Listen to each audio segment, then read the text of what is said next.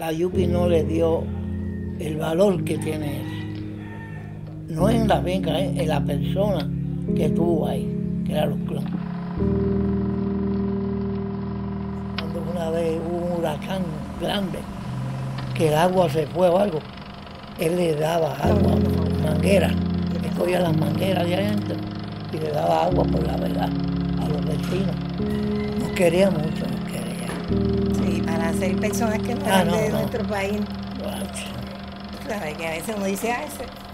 Pues no, con ellos no se daba eso. Cuando ellos la cedieron a que la arquitectura siguiera, pero no le dieron mantenimiento, ni hicieron nada, nada.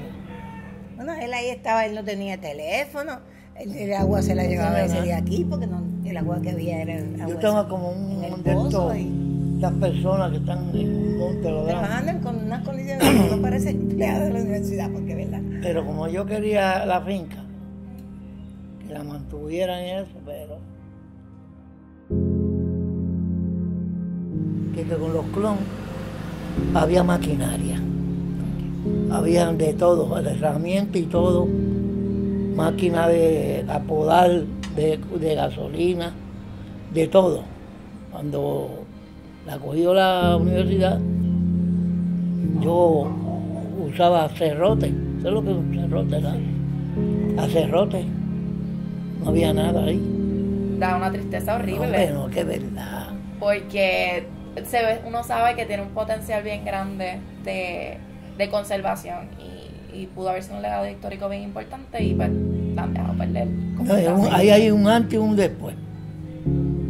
Yo la ve al principio y la ve ahora, llora. Mira, yo trabajaba cinco días, pero para mí trabajaba siete días, porque yo iba los domingos y los sábados. Yo me metía ahí a velar que nadie se metiera ni nada. Los siete días. Eso era extra, no me pagaba, pero yo lo hacía eh, él le da un mantenimiento conmigo, él trabajaba conmigo. a la finca y a la casa. Punto. En todo, él la dejaron perder. Y no por falta de dinero, porque en esa época la- las cosas estaban mejores que ahora. Ahora está peor, pues no hay chavo.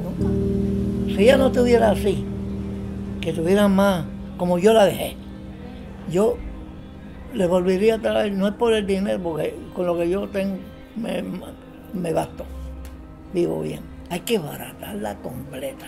Y arreglar esa casa tiene que ser una persona que sepa. No todo carpintero barato viene ahí. Sí, porque en la casa estaba él que es jardinero, había un carpintero, estaba mi mamá que limpiaba y, y cocinaba. Y, ¿sabes? Era un, había un equipo de Sí, trabajo. había- Sí, equipo de trabajo.